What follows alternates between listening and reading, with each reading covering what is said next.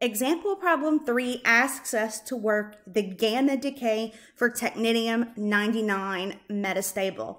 Gamma decay is the easiest of all to do because it is not an atomic process. Nothing happens in the nucleus of the atom.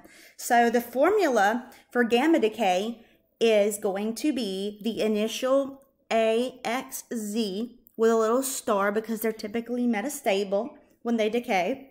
You have the decay itself happen, and then you end up with AXZ that is not metastable plus the gamma ray, and that's it. So working example problem three, we have 99M, 43, technetium. We have the decay happening, and then it just goes to 99, 43, technetium plus the gamma ray. And that is how you work a gamma decay problem. Let me know if you have any questions about example problem three.